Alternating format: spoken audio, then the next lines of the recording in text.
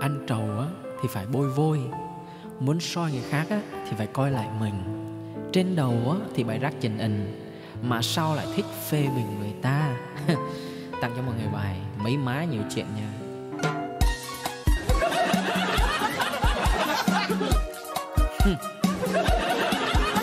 Mọi người tang cho mấy con mẹ chuyên đi nói xấu sau lưng vài cái bài hát này cho đường hương tang mấy má mà nhiều chuyện hay đi nói xấu mình sau lưng á. Tang bà vào. Rát trên đầu trên đình mà không đi quét mà đi chuyên đi nói xấu người khác cho được hơn nào.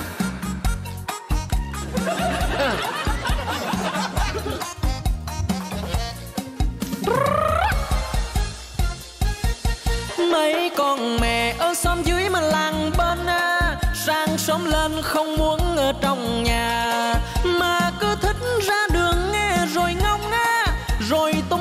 tùm ba xong nói nhảm.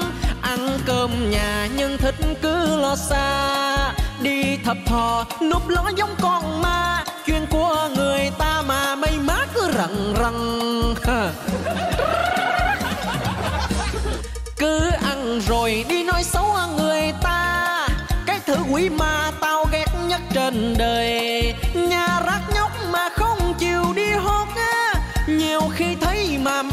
Lên tới não bao nhiêu người nói mấy má vô duyên à? Hai nhưng mà mấy má cứ liên phiên nói xấu người kia rồi nói tới người này.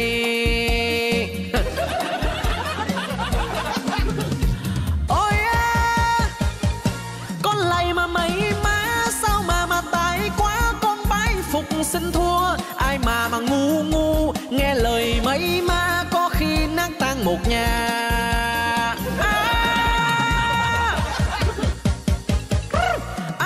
Sợ hớ, coi chừng mấy má sẽ cắm đầu vô soi. Khẩu nghiệp trên môi chuyên còn nhỏ xíu cứ xe to mới vừa lòng. Biết bao giờ trong xóm mới bình yên à sáng bước ra thôi cũng đã thấy phiền à.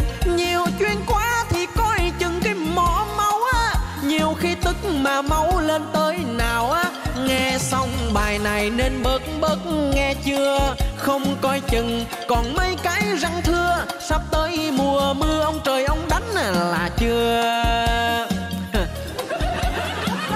Bớt bớt nhiều chuyện nghe chưa?